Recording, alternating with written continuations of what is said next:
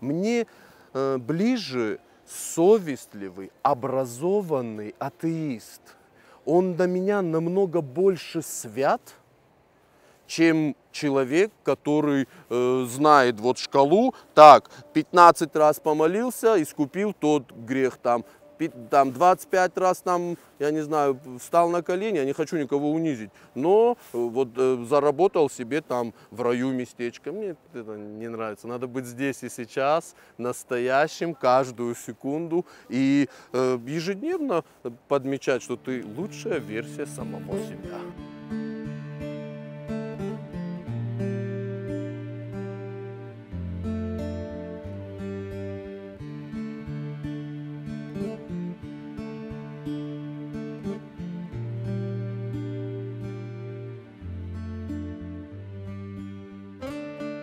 Что, друзья мои, мы э, в прошлый раз, э, когда я был в красивом национальном, ходили вот туда, а сегодня мы пойдем туда. И это красивое национальное мне дал вот этот прекрасный человек. Его зовут СОС, но это сокращенное. Это не значит СОС, спасите наши души. Хотя, конечно, от такого жгучего мужчины некоторые души надо спасать. Сослан. Э, мы даже не будем э, представлять регалии этого человека, просто мне кажется, что это воплощение города Владикавказа, воплощение вообще осетинского духа, именно вот э, с точки зрения самоиронии и всего остального. Скажи, пожалуйста, дорогой друг, как бы ты описал среднестатистического осетина, и вообще, может быть, ты даже нам расскажешь про какие-то типы осетин, вот, ну, в твоем понимании, я имею в виду без упоминания имен, фамилий, ИНН, СНИЛСов и всего остального. Услышал. Ну, э, не могу не сказать, что жар, жанром гиперболы вы владели серьезно. Такое воплощение придумали. Ну, хорошо. А если сказать э, вкратце о моем народе, то я скажу, что, видимо, этому народу среднего не дано. Или совсем хорошо, или совсем плохо. Я вот эти истории, связанные с ни туда, ни сюда, даже не слышал никогда. А, приезжал как-то ко мне один молодой мой товарищ, друг из Москвы. А, и понаблюдав, неделю побыв во Владикавказе, да, говорит осетины, живете как олигархи, но иногда денег немного не хватает. Так вы, как получается, как российские дворяне живете. Они точно так же жили, как олигархи, но денег вечно не хватало.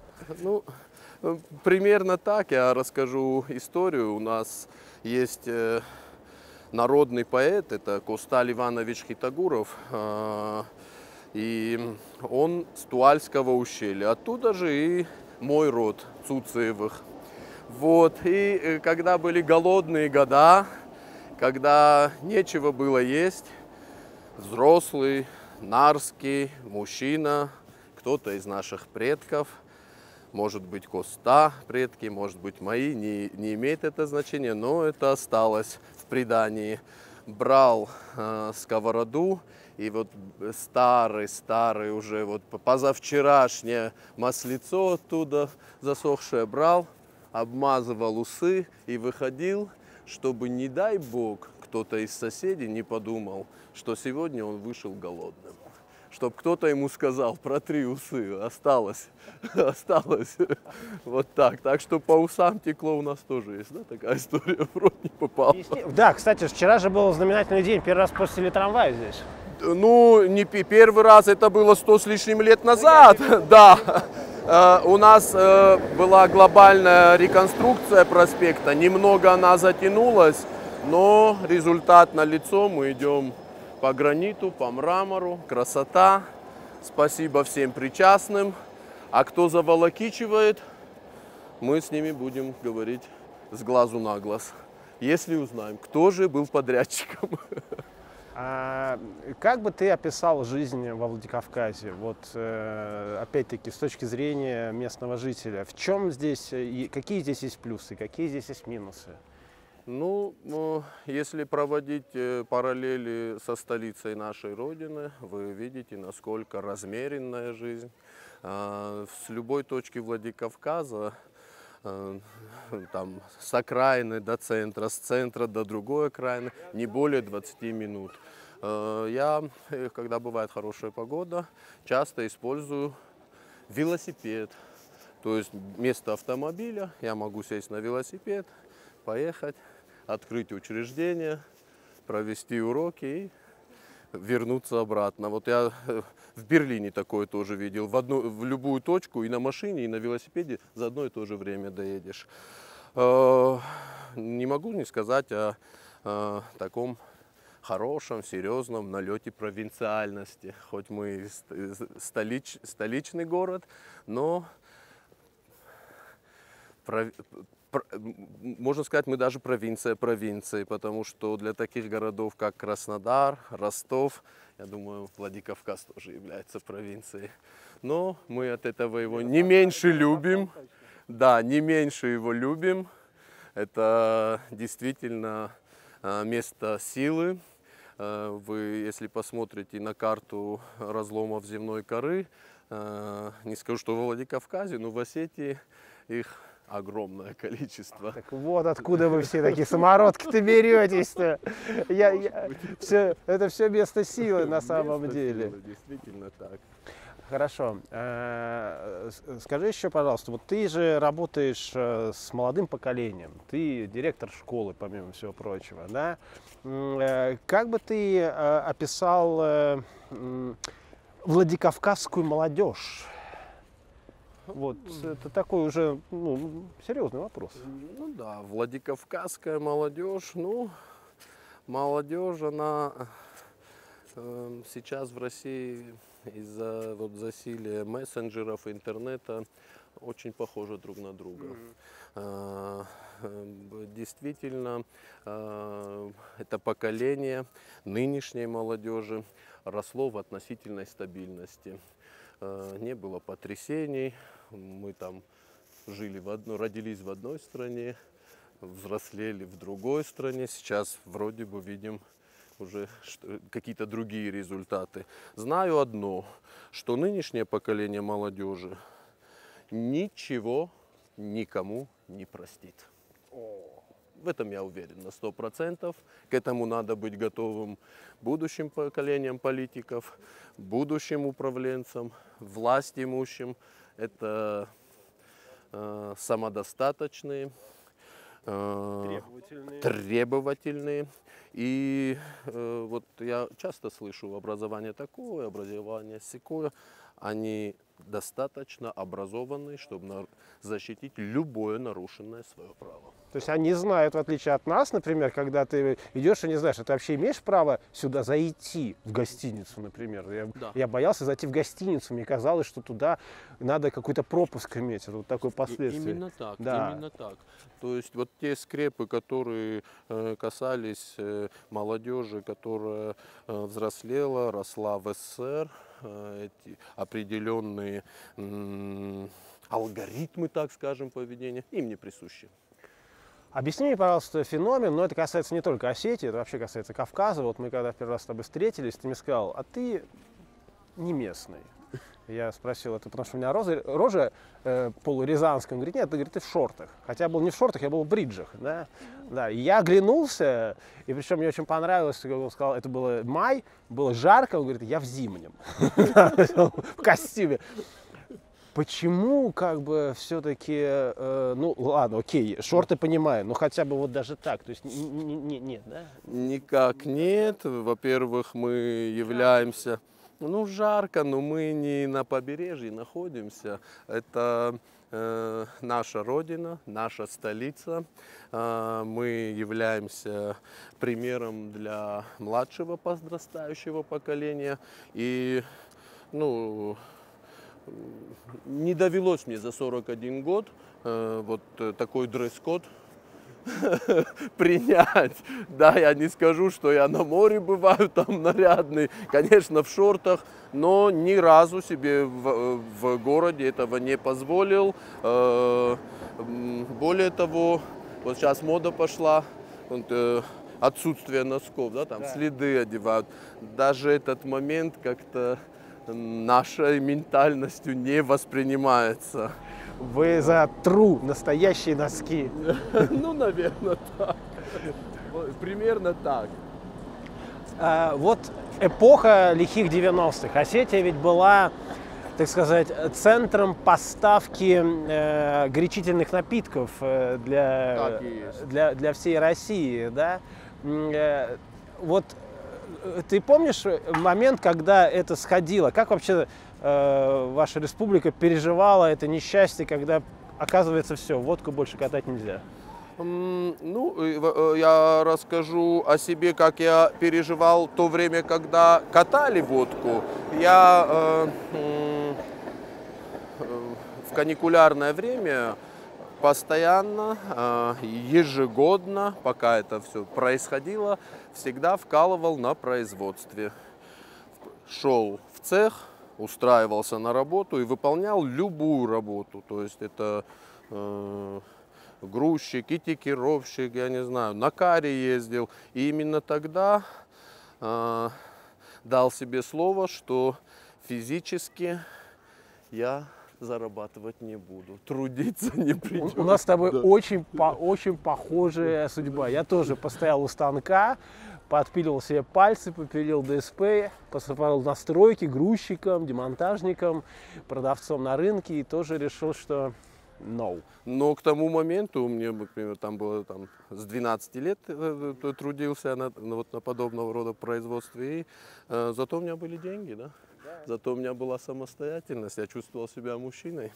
Вот, и э, 97 год, э, наступило время поступать, отец меня спрашивает, ну, э, куда, что? Я говорю, да, не, никуда. А чем, говорит, ты будешь заниматься? Так вот, я и занимаюсь, я работаю, тружусь, зарабатываю. Он, не-не-не, так не получится, надо что-то выбрать. Какой предмет любимый? Ну, нет, говорю, любимого предмета. А оценки были, наверное, все отличные, там, кроме химии как-то не удалось мне продемонстрировать там себя. Вот. Ну, нет, э, так не пойдет, надо выбирать вуз. Ну, я выбрал две модные специальности.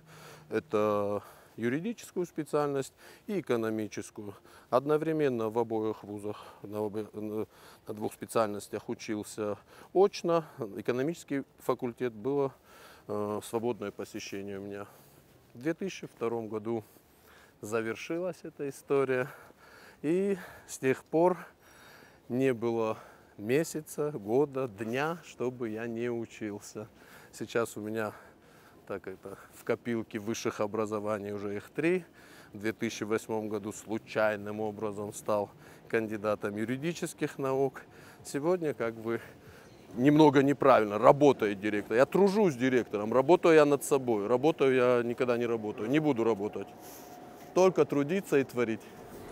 А, скажи, пожалуйста, вот э, когда ты сюда приезжаешь, ты чувствуешь, что здесь, э, ну, все очень плотно, очень тесно. Этим вы очень сильно, ну не только вы, вообще Кавказ, этим вы очень сильно отличаетесь от нас, от русских, потому что у нас, например, э, если с тобой в лифте незнакомый человек поздоровался, ну это уже как бы день, день случился, да, потому что я вот хочу очередной пост сделать, что я в Сапсан, когда сажусь, и я каждый раз, мне приходится вот так вот, глядя на моего соседа, говорить «здравствуйте», потому что он хрен вообще, или она, да? Культурная столица. Да. А у вас вот, как бы, что мне нравится, там, ты идешь по улице, о, здравствуй, дорогой, привет, там, любой вопрос по звонку, там, э, и так далее. Но отсюда другой вопрос вытекает. А не мешает ли это управлению? Ну, то есть ведь этим могут воспользоваться нехорошие люди, когда они что-то нехорошее совершили, и они знают, что я сейчас вот позвоню, и мой там какой-нибудь брат, сват, и да тра-та-та, это, это, это уладит. А, это большой минус не Осетии, а вообще всех Кавказов. Да, я сказал, что это вообще всего да, Кавказа не, не, касается. Некий, некая клановость. Но э, вот, ну, я буду говорить, например, о своем роде, о своей фамилии.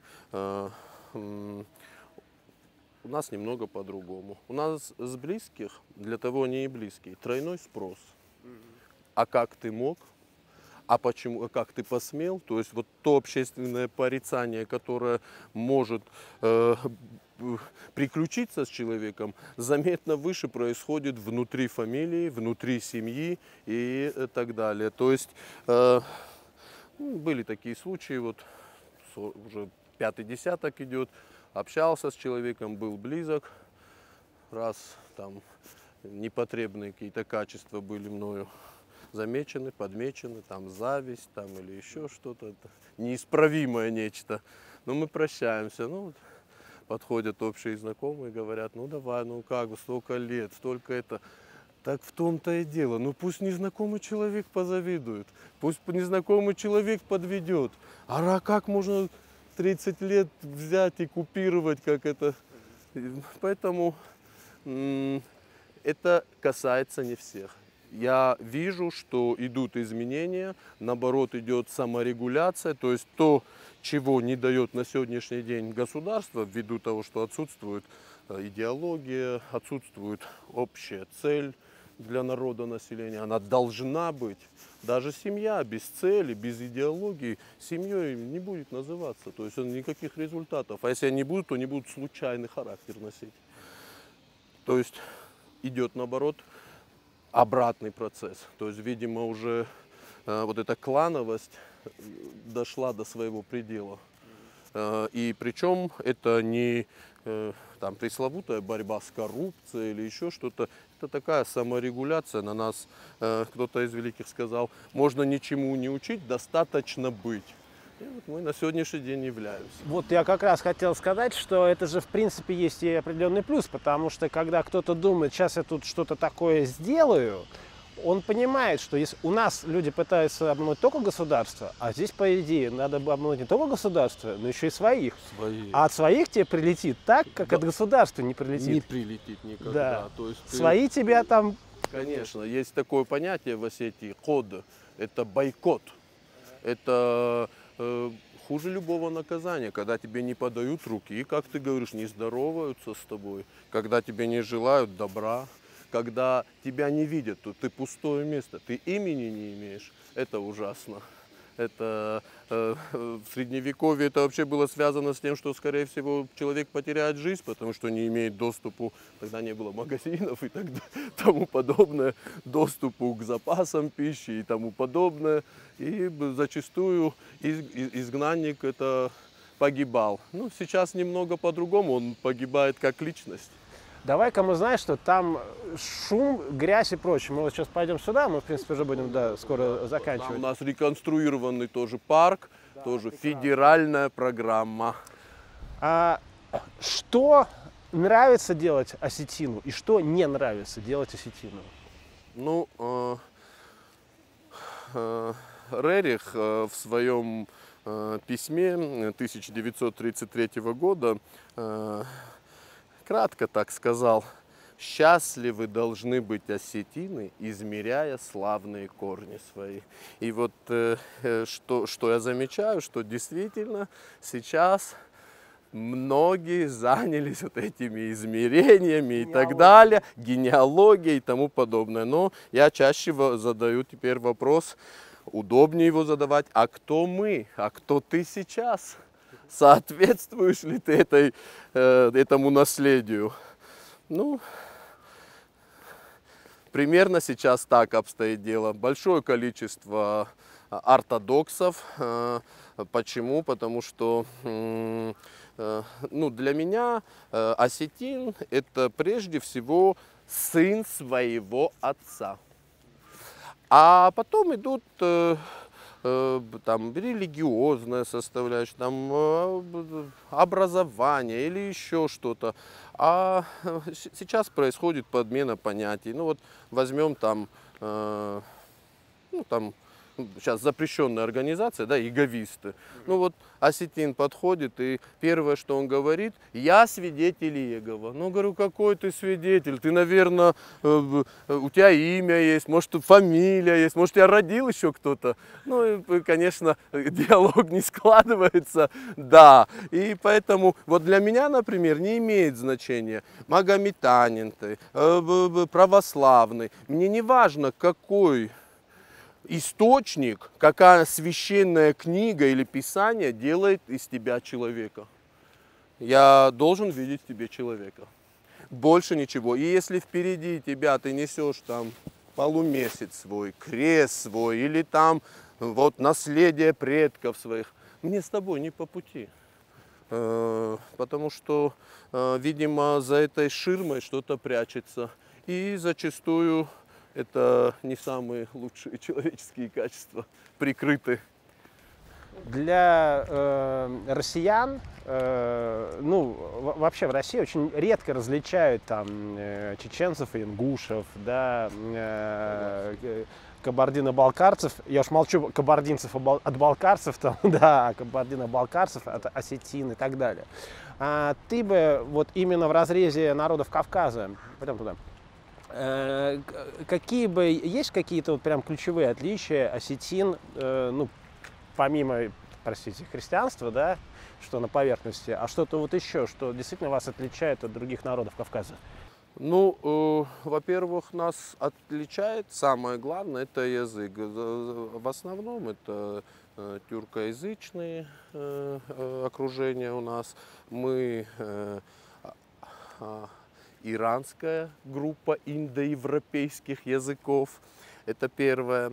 Второе, это э, не люблю это слово толерантность, но она есть, э, она присутствует. Мы можем посмотреть на количество национальностей, которые живут в Осетии, которые не имеют никаких форм притеснения. Э, Еще раз говорю, Включая Человеки. русских, прежде так, всего. ну, т- ну, То есть э, это- это- очень комфортно себя чувствуешь в Осетии. Э, с- Согласен. Более того, вот э, мы сейчас общаемся на русском языке. Понятно, там и зрители, и ты, видимо, слышишь. Никуда от этого не деться. Есть определенный, эм, так скажем, э, э, Понятно, что я умею говорить на астинском, короче говоря, когда я говорю на русском языке. Но э, русский язык уважаем в Осетии, находится на хорошем уровне э, в плане э, правописания, может быть, немного косноязычия присутствует в речи, но вот только дети написали сочинение, вот из всех выпускников э, веренного мне учреждения э, все дети получили зачет. Э, То есть э, каждый справился с тем, что написал больше 250 слов, справился со всеми позициями, связанными с раскрытием темы и так далее, и так далее. Для меня это показатель. Более того, э, русский язык это то, что помимо воспитания каждый ребенок, э, обучающийся в Осетии, должен вынести из школы, потому что это возможность впоследствии во взрослой жизни себя защитить, э, описать, не, не стесняться своей орфографии, правописания и так далее. То есть в этом отношении э, это большое отличие, потому что мне прихо- да, приходится, я на конференции бывают, да, там, на научно-практических семинарах приходится сталкиваться, и именно уровень владения русского языка немного по-другому. А, и э, не могу не сказать, а вот это в крови, наверное, у осетин. э, ну, это, наверное, количественный признак, не качественный, но все равно о нем я хочу сказать. Э, у нас э, 30 с лишним полных георгиевских кавалеров. А, а, э, Потом возьмем, да, период советской истории. э, Более 70 героев Советского Союза. Это не Великую Отечественную войну, а за 70 лет мы возьмем, да. Э, И э, вы понимаете, как обошлись с георгиевскими кавалерами в 17 году. Но народ, который присягнул на верность России, остался государственным таким народом, который готов служить Отечеству и быть полезным. На сегодняшний день, э, э, сейчас, вот э, м, так, так, из пепла восстают те воспоминания, биографии царских офицеров осетин, они были вымораны из истории. На сегодняшний день есть э, и э, печатные издания, и э, простые даже стень газеты, так возьмем, это школьные, где на одной странице и Герой Советского Союза, и полный георгиевский кавалер. На сегодняшний день мне кажется, что основная масса населения четко понимает, э, Осетии четко понимает, что герой он и есть герой, неважно какую лодку он выбрал. Он не за себя, так скажем, боролся, воевал, а за те э, интересы, за то государство, за того там царя, кому он принес присягу. Эх, всем бы некоторым моим вот этим вот э, упырям, которые там начинают строчить, э, такой абсолютно разумный, грамотный подход. Это, к сожалению, то, с чем вот сейчас Россия никак не может справиться, да, вот э, как поженить. Нельзя, нельзя из песни выбрасывать да. слов. Я э, не смотрю вот э, передачи э, пропагандистов, сейчас это модно, э, но невозможно что-то не улавливать, потому что и в интернет они просачиваются, и в мессенджеры. И э, один из политологов э, э упрекнул так скажем, организаторов одной из таких передач, э, почему вы выбрасываете из истории имена, почему вы имеете э, возможность, э, празднуя там 70-летие там, или 75-летие победы над фашистской Германией, не упомянуть слово, ни словом не обмолвиться о верховном главнокомандующем. Нельзя так поступать. А, у меня был случай такой. Э, Пришел в школу а, один э, поэт-песенник, исполнитель. Детям небольшой концерт дал, естественно, бесплатно. Э, Саша Коренюгин. И в моем кабинете я где-то раскопал там на складе Э, портрет Сталина. Думаю, ну некрасиво, ну кажется, он так валяется. Ну, естественно, повесил его там за своим стульчиком в кабинете. Э, не, я не сталинист, я эм, не строю себе кумиров, но я четко понимаю, что именно этот правитель создал лучшую систему в мире образования. То есть он, он же еще вроде как и осетин. Есть а, такая версия. Нет, он грузин но с астинской кровью, с, астинск... с, с, с астинскими корнями.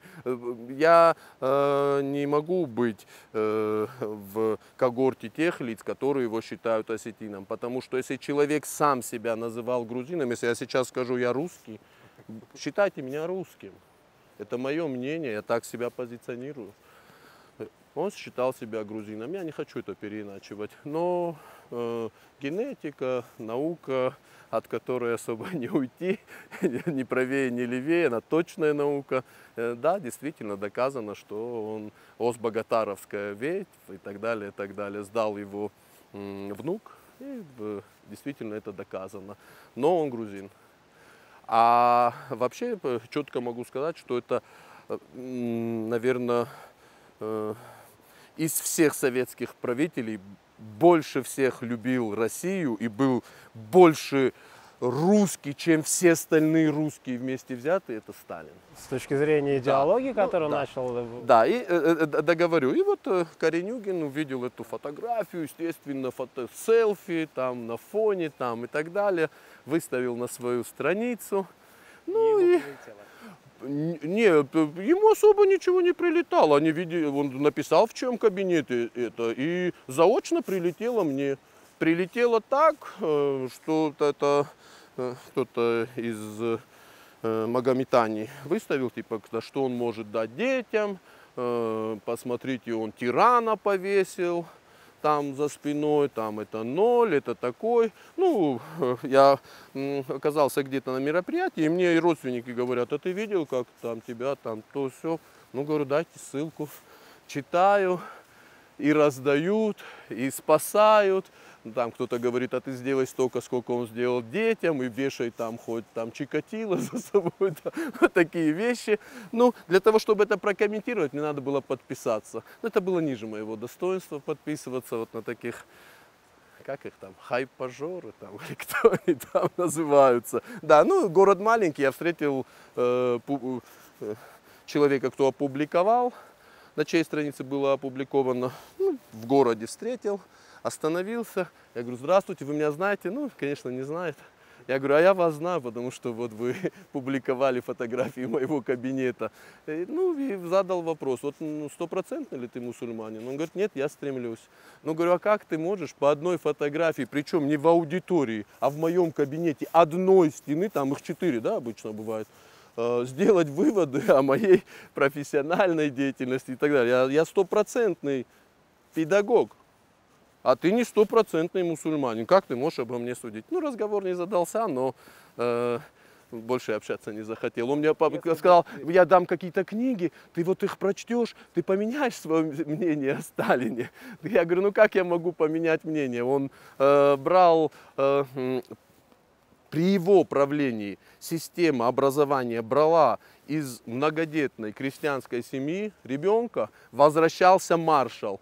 Из рабочей семьи брала ребенка, возвращался профессор. И это дорогого стоит. Эм, это действительно такой прорыв в общем образовании всего народа. А и... Если бы ты повесил бы Николая II, Ну, во-первых, Николай II в, на складе в гимназии там не пылился, не хранился. Э, начнем с этого. Да. А второе, эм, Николай II, ну, ну, я, честно говоря, на сто процентов тоже считаю, что он великомученик. Да, великомученик, он э, хоть будучи... Вот не... какой ты плохой, ты и нашим, и вашим. Как и нашим, вот, и вашим? Вот, вот, да неправда. Вот видишь, и Сталина повесил, и Николая II великомучеников считает. Да нет, о, там э, в кабинете есть, я, я это тоже сказал, кстати, э, вот э, кто меня опубликовал, я говорю, а там левее, говорю, э, железный Феликс, говорю, бюст его. Я говорю, не интересно тебе, почему он там? Ну, у него глаза вообще это шары. Я говорю, но этот человек в течение года закрыл вопрос 7-миллионной армии беспризорников после гражданской войны. Посмотрите на мощную Россию, посмотрите на ее недра, на востребованность всего этого на рынках. Мы этот вопрос не закрыли до сих пор. Да, но я рассказывал об этом, да, когда это же, это же вокруг Лубянки водил да, в экскурсии это... своей ну, Республика Шкит, это Макаренко, Сухомлинский. Это же все лица, которых, э, которые вышли из системы НКВД. Ну, это как я знаю. Да, быть, но, к сожалению, ты же понимаешь, что есть и обратная сторона у медали, да? Согласен. Да, Согласен. Есть... Я, я э, там нету это, бегу, бегущей строки. Подде, и поддерживает Суциев красный террор. И, и, и хочет возвращения судов троек. Нет, у меня э, Потому что даже Надо если, уметь по, да, по, по, если даже по Осетии пройтись, тут же тоже огромное количество историй, ну, там и, и у Мамсурова дядю. Да, также, да, вот э, э, мои родственники по материнской линии Амбаловы, э, э, один из э, поэтов Цоцко Амбала в 1937 году был расстрелян, репрессирован, он успел еще выбросить записку. Об этом тоже мне говорили, вот, ну, ты знаешь, он расстрелял а может быть его именем расстреляли, а может быть мы такой народ, который, э, когда враж входит, берегов не видит. И в этом всегда виноват один человек, верховный главнокомандующий. У меня большие сомнения в этом.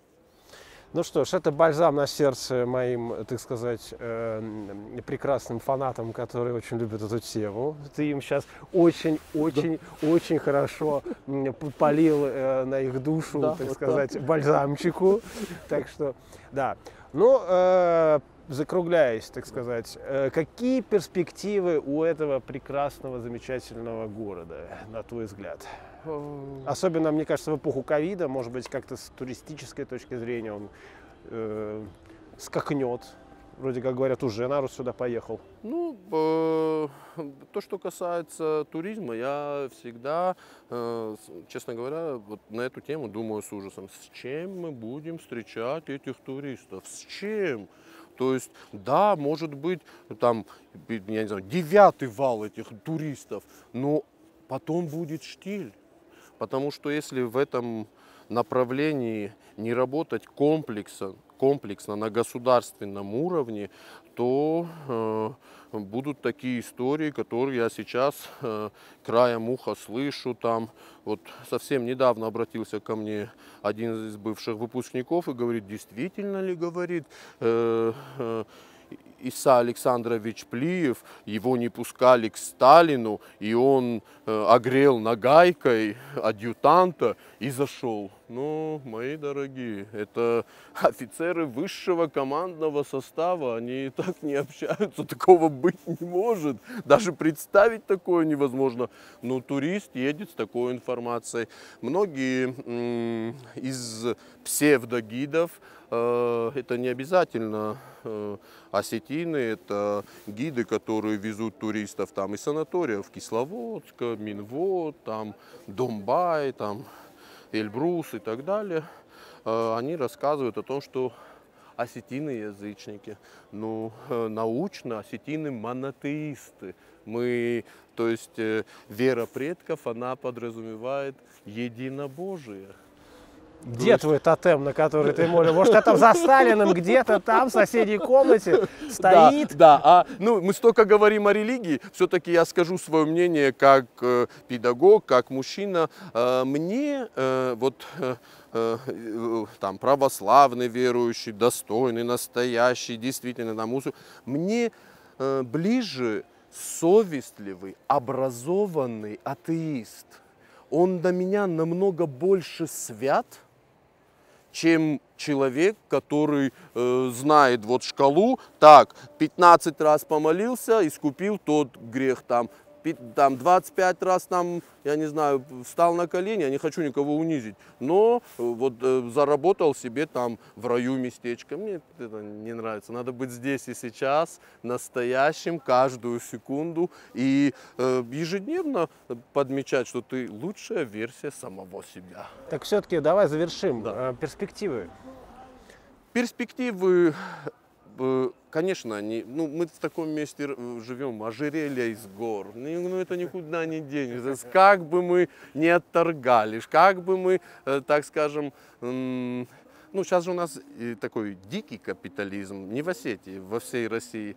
Вот, вот это слово «дикий», когда прекратится, нам будет намного легче всем. Но мое мнение, как человека, который родился в СССР, который э, путешествует по миру, э, будущее России за социализмом. Это сто процентов. Другого я не вижу. У нас э, такое отношение к правде, к истине, такое вот, даже человек там 10 раз оступился, он все равно рассуждает, да это врун, да это то, да это все. Надо это поддержать. Э, надо, вот примером, э, кто-то говорит, Китай нет, страны Бенилюкса. Вот, брать их пример на себя и будет результат. Когда э, рабочий, который кладет плитку, понимает, что он кладет своим детям, будущим поколениям мы дадим максимально достойный результат. Осетия будет достойным регионом Российской Федерации, без слова дотация. Кандидат номер три от партии нет, без нет, дотации. Я беспартийный, беспартийный. Голосуй на ближайших Исключено. Самого движения. Все, все, все, расстреляли. Опять лупу взяли и на меня смотрите. Зря, зря, зря. Ладно, Сос, огромное спасибо тебе за такой многосторонний, э, неангажированный взгляд, э, что в наше время большая редкость. Ну, а мы, так сказать, э, продолжаем наши поиски в Осетии, и еще пару слов от меня будет за кадром.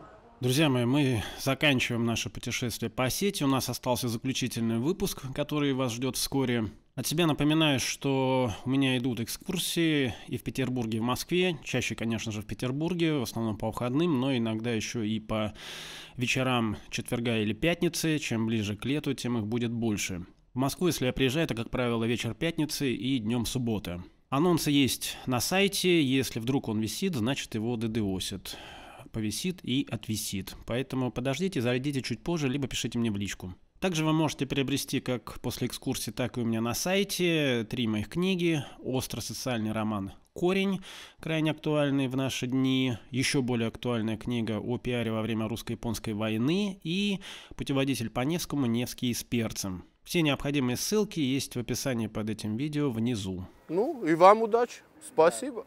Оставляйте комментарии вот там. Увидимся. Пока.